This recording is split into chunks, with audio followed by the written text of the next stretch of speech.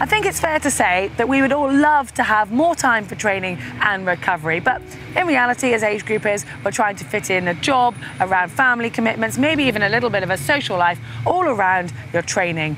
And I expect that I'm not alone when I say I look on at the pros with envy as I just dream of having an uninterrupted training session and recovery. Well, in reality, that isn't always true, especially if you add a toddler into the mix. Well, that is the exact circumstance for pro triathlete Radka Kahlefeldt, who gave birth to her first child back in January 2018 and managed to go on and win a 70.3 Ironman just 11 weeks after. Well, I want to know just how she does it and what tips she could give us. And Radka has very kindly invited us into her home just ahead of the Ironman 70.3 World Championships. So I think it's time we went and found out. Ruby, look. Because my mom has a small place. So. Wow. But yeah, she was like. Show mum. Wow. Off to transition. Here we go. iron, iron girl, here you come. Well, Radka, thanks so much for fitting us in because as I can see, it's pretty hectic, like trying to do all of this before a race. But I want to find out how you managed to. And, you know, since your life's obviously changed dramatically 19 months ago, and you're still performing at the very top level. What are your kind of key points or tips that you could share with, you know, the time crunch age group athlete? And yeah, how have you adapted your training? Hi Heather, thanks for having me. um, well, yep, everything changed since Ruby was born. Um, and yeah, you have to be really time efficient, so there's no time for um, really junk mileage. Yeah. Um, so our, I think the best thing was to do uh, most of the training rides on, on wind trainer mm-hmm. and the run on treadmill. Yeah, the wind trainer would be really boring if you don't have a set session. So I actually love it if, if Brett tells me, okay, you do 20 minute warm up, then four times eight minutes Ironman pace with four minutes easy in between, and then I don't know some more five five minutes and then warm down. It goes much quicker and you get a really good workout and you are done in two hours yeah and this was great because i know if i push really hard for two hours it's good for me and then i'm quickly back with ruby and have you found that um, sort of affecting you as an athlete, like getting re- condensing, I guess, your, your bike training? How has that affected your performance and your and your kind of yeah trajectory as an athlete? Yeah, well, it's just the mic because it's like we might struggle to catch yeah, bit, pick bits up it's if. Too um, much and I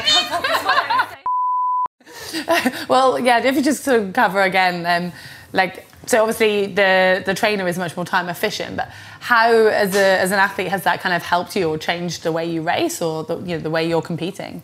Um, I don't think I'm racing differently, um, but um, it really fits me well to do quality sessions and I'm training roughly around only 20 hours a week. Okay. But it more most of it is is uh, quality, so um, it's it's great for me and great for the family as well because I just don't want to be away from Ruby the whole time and.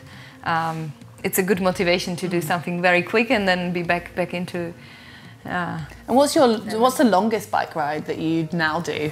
Uh, I do once a week a long long ride, which now is only three and a half four hours. Okay.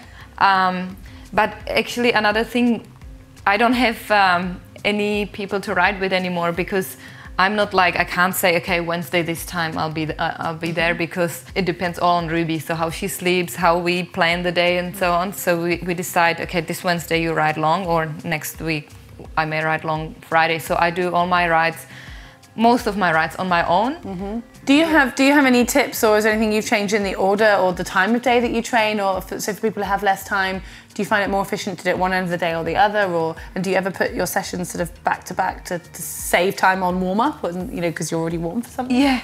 Well, I would say as a mum, you're warm up the whole day because you're chasing the baby.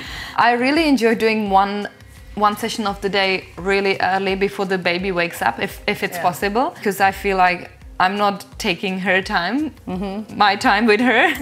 Uh, and also, it's easier to get out of the house because now, when she's also saying, Mama, Mama, I feel like I don't want to go. But if she's still sleeping, I just go. And yeah.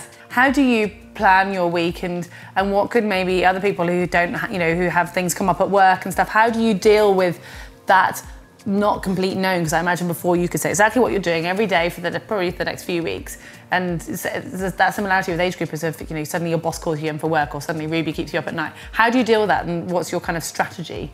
Yeah, you have to be really flexible because otherwise you wouldn't be able to do it because, um, like you said, every day changes based on the baby or appointments. So most of the time, once Ruby goes to bed at night, I sit with Brad and say, okay, what's tomorrow? He tells me what I need to do, and then we'll, okay, can Ruby go to a creche or is there grandma or can Ruby be with Brad? We just have to like plan the day and then how we decide it, it has to be exactly how it is. Like I can't, we can't decide that I'll ride before Ruby wakes up and then I'll just decide to sleep in. It's not possible. It has to be, otherwise you can't do that. I think uh, yeah, I think that's very similar in the fact you do you have to be flexible until almost like the night before or Yeah. and then you know what your schedule looks like and you then and then you just have to hold it. Yeah. Of course, you could. You, could, you have to be even more flexible if we say now you're getting up, but Ruby has I don't know growing teeth and you don't sleep the whole night. Then then you change it even last minute. recovery is like a big part that I personally am like passionate about. That you know, you, everyone trains so hard but forgets that your body needs to recover. But obviously, when you have less time, it's, it's easy to sit here and say, "Yeah, we should recover." How do you manage your recovery now? And it must be very different. Uh, it's definitely very different, uh, but the recovery is very important. You, you can't go without it. So I'm still making sure I have uh, once a week a massage, which is kind of the thing I'm like living for because it it's not just the you know the body getting the recovery, but the brain as well. You just can switch off and you know someone's taking care for the baby and, and you can relax. So it's it's very important for me, but. Now most of my recovery is actually a re- active recovery. Okay. Um, it's basically following Ruby either to a swimming pool, or beach, or you know climbing up with with her on a slide. God, that sounds exhausting. yeah, sometimes I'm really tired. and I'm like praying she wants to sit down and, and read a book, but You've got a few years to wait. yeah.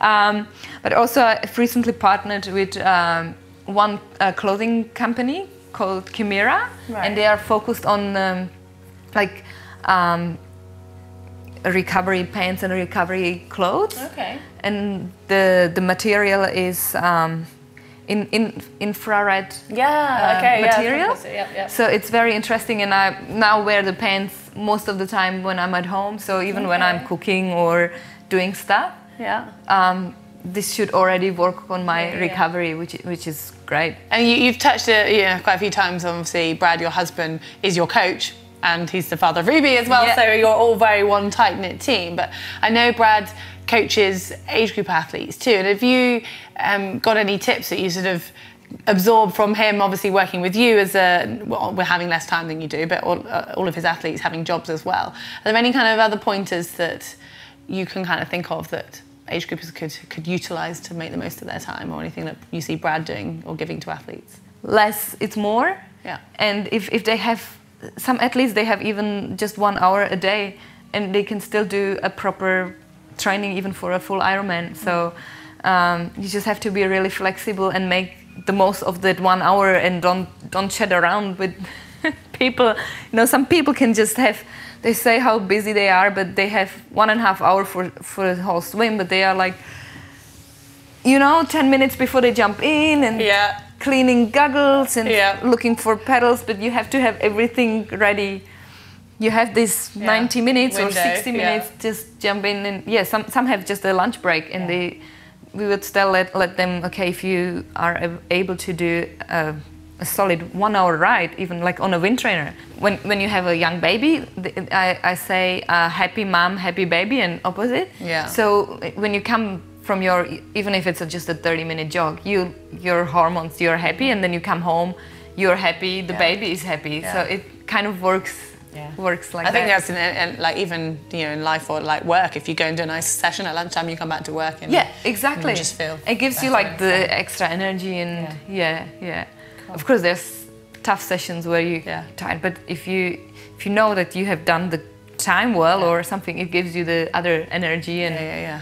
Yeah. So it's sometimes key just to remember that. again. Yeah, exactly. Sure. Yeah. It's easy when we're sat here on the sofa talking about it, isn't Yeah. it? Like, yeah, just don't care. Don't, you know, always, always do all those sessions and do them as hard as you like. Yeah. And then when you get to them, it's a bit Yeah. different. But Yeah. awesome. And thanks, Becca. That's a really, yeah, great insight. And I think we can get a real flavour for just how good you are at balancing everything and getting those key sessions in. You have to, otherwise, you, yeah. And I think you, you, I do it because I love the triathlon. So, otherwise, there would be so many excuses to to make not to go for the training. So, it's it's great. You're an inspiration. Thank you. Thank you, Heather. cool. Thanks.